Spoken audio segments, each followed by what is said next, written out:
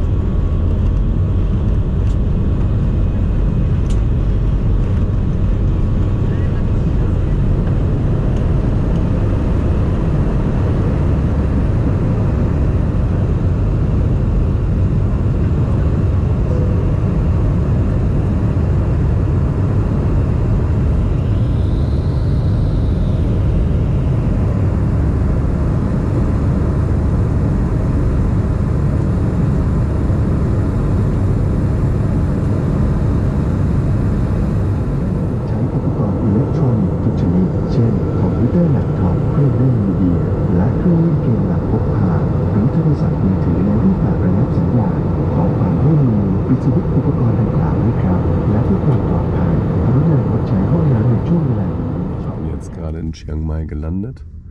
Und von hier aus sind es nur drei Kilometer bis zum Hostel. Also der Flughafen ist ziemlich zentral gelegen. Und ähm, habe jetzt heute das erste Mal tatsächlich auch über Bolt einen Fahrer bestellt. Also bin ja sehr positiv überrascht über die Preise, ehrlich gesagt. Und bisher klappt das auch sehr gut. Wie gesagt, es sind eigentlich nur drei Kilometer. Normalerweise jetzt auch gesagt, gehe ich den, aber ehrlich gesagt war der Weg schon aus dem Flughafen nicht so schön. Ähm, aber tatsächlich kann man, wenn man eine Unterkunft in der Nähe des Flughafens hat und nicht allzu viel schweres Gepäck dabei hat, würde ich den Weg, oder glaube ich, kann man den Weg tatsächlich eigentlich gut laufen. Aber ich war jetzt auch einfach mal heiß, die App auszuprobieren.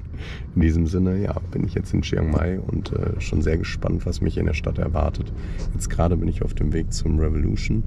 Chiang Mai Hostel, so in etwa heißt das. Ähm, ja, es macht einen ganz netten Eindruck, auch so zum Thema Socializen und Leute kennenlernen ist das, glaube ich, auch ganz gut einmal wieder. Also man hört es vielleicht gerade schon, ich bin jetzt im Revolution Hostel Chiang Mai und das ist äh, ja eher so ein Partyhostel, würde ich sagen. Hi. Und äh, wir sind jetzt gerade so, hier vorne sind einfach so die Zimmer und das ist eher so ein Hostel zum Feiern, würde ich sagen. Hatte ich jetzt auch nicht so gewusst, aber es ist auf jeden Fall eins, um Leute kennenzulernen und mit denen vielleicht zusammen noch ein bisschen weiter zu reisen. Von daher glaube ich, ist das eine ganz gute Sache. Und ähm, ja, nettes Team, aber schon wirklich so ein Party-Hostel. Das ist schon sehr krass. Aber ja, ich bin gespannt, wie es wird. Und äh, hier schon super nette Leute kennengelernt, Engländer, Deutsche, ähm, Niederländer. Also wirklich klasse. Und die Zimmer, ich guck mal gerade. Hier. Look after our earth. Please conserve water and electricity. Und die Tür ist geöffnet. Ist auf jeden Fall Raum hier. Schon ziemlich chaotisch. Aber wenn man weiß, dass es ein Party-Hostel ist, dann, dann glaube ich, ist es. Met you, I felt the same. Jonathan wasn't a human, he was a mole. And we were like, yo, Jonathan, what are you doing? bro? How did we not notice? How did we not notice? But then we were like, okay, fair enough, you get the prize.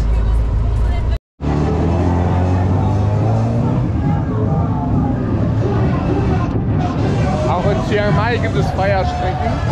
Jetzt hier heute ähm, vom Revolution Hostel aus losgezogen und sind jetzt in die, Al äh, in die Altstadt, in die Stadt gegangen und machen jetzt so einen Pub-Crawl, wirklich sehr empfehlenswert durch ein paar Bars. Wait, let's